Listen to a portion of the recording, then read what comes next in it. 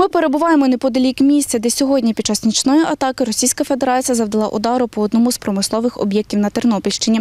За повідомленням начальника обласної військової адміністрації В'ячеслава Негоди, після влучання почалася масштабна пожежа, яку ліквідовували 45 рятувальників за допомогою 12 спецмашин. На місці працюють рятувальники, поліцейські та працівники Служби безпеки України. Місцевих туди не пускають. Нас також туди не пустили. Ми поспілкувалися із жителями села, яке знаходиться біля об'єкта. Щось летить сильно, такий гул сильний, свист. Я кажу, ой, то все, то напевно шахет летить. І тут чую один вибух і другий вибух.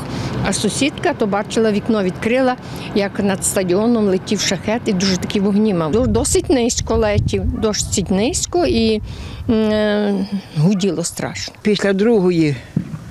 Ну, я там я не дивився, яка година, десь так, бо тому що через десь через півгодини був чути другий вибух. А де саме я не Дружина чула, два вибухи чула.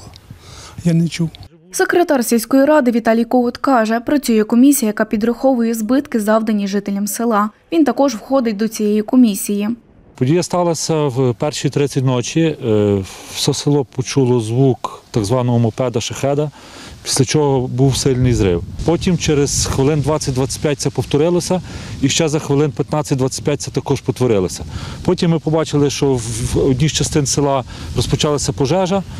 Поїхали рятувальники на ліквідацію даної пожежі. Комісія у нас створена, бо у нас же був на громаді такий випадок схожий. Е, Поки що е, не звертався власник до нас на сьогоднішній момент. Тетяна Панченко, Василь Панчук, Суспільне новини, Тернопільщина.